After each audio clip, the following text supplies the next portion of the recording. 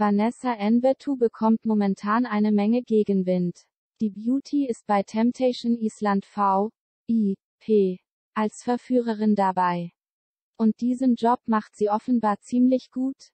Die Single-Dame und Kandidat Alexander Petrovic 31 haben eine intensive Bindung aufgebaut, die beiden sprechen sogar schon von Gefühlen. Auch über Alex Freundin Christina Dimitriou 30 sprechen sie ausführlich, jedoch kommt die Influencerin dabei nicht besonders gut weg. Dafür kassierte Vanessa nun einen gewaltigen Shitstorm. In der aktuellen Folge der Show erzählte Alex der Verführerin, dass er beim Lagerfeuer Szenen von Christina gesehen hat, in denen sie ziemlich harte Beleidigungen von sich gibt. Vanessa bezeichnete die Reality-TV-Bekanntheit daraufhin als gestört und lachte mit Alex, als er erzählte, dass die 30-Jährige auch hysterisch geweint hat. Dieses Verhalten fanden die Zuschauer ziemlich daneben.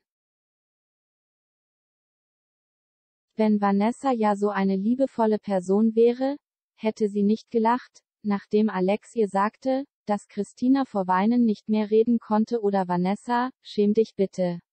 Als Frau über den Schmerz einer anderen Frau zu lachen und sie als gestört zu betiteln? Entweder bist du ziemlich naiv oder einfach nur dumm, wetterten die User auf Instagram. Vanessa bezog daraufhin Stellung in ihrer Instagram-Story und räumte ein, dass es nicht okay war, Christina als gestört zu bezeichnen, verteidigte sich aber auch. Dennoch habe ich in diesem Moment gerade erfahren, dass ich als Hurentochter, Schlampe und Missgeburt bezeichnet worden bin, was für mich zumindest ein nicht normales Verhalten darstellt, schrieb sie und ergänzte, dass das Ganze für sie momentan auch nicht leicht sei.